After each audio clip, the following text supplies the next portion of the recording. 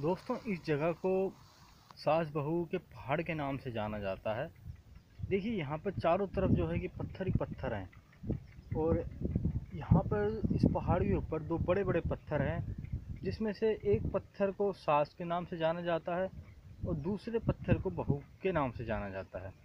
अभी मैं जिस पत्थर के ऊपर बैठा हुआ हूँ, ये भी उनमें से एक ही है। अभी देखो, आपको सामने जो दिख रहा है, ये दिखा ये सामने दिख रहा है ये बड़ा पत्थर, ये सास बहू के पत्थर हैं।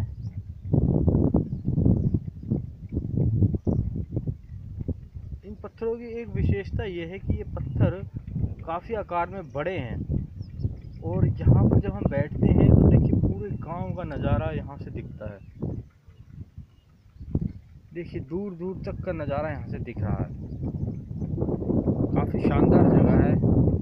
हवा बड़ी अच्छी आ रही है यहाँ पर इस टाइम आज गाँव में आए हुए थे तो सोचा थोड़ा गाँव की सैर कर ली जाए। अब राजस्थान में तो बस खेत ही खेत हैं और दूर दूर तक पत्थर ही पत्थर हैं। यहाँ पर पहाड़ ज़्यादा हैं यहाँ पर।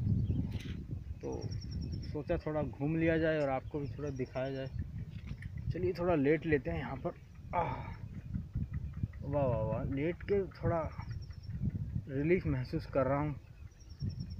काफ़ी थक गया हूँ यार, बहुत दूर से चलता हुआ आ रहा हूँ कम से कम तीन किलोमीटर चलने के बाद यहाँ पर पहुँचा हूँ। काफ़ी ऊँची जगह थी चलते चलते यार पाँव भी थक थक गए हैं मेरे। अब काफ़ी रिलीफ महसूस हो रहा है। लेटने के बाद काफ़ी ठंडी हवा लग रही है। देखिए यहाँ से कितना अच्छा नज़ारा दिखता है, देखिए। दूर दूर तक आपको यहाँ से दिखाई देगा। मैं यहाँ पर अगर दूरबीन लेके आता तो बड़ा मज़ा आता यहाँ से देख के। देखिए कितना, यहाँ से एक एक चीज़ क्लियर नज़र आ रही है।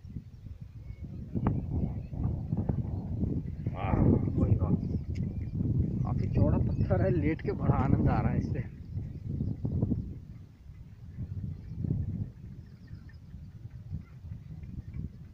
क्या बात है यार, ठंडी हवा तो बहुत अच्छी आ रही है।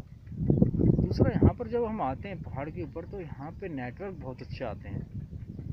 आपका मोबाइल किसी भी सिम का हो, किसी भी नेटवर्क का हो, यहाँ पर आने के बाद में आपके मोबाइल में नेटवर्क बड़े ज़ोरदार आते हैं। तो मैं अभी यहाँ पे इंटरनेट चला रहा था तो इंटरनेट बड़ा फास्ट चल रहा था।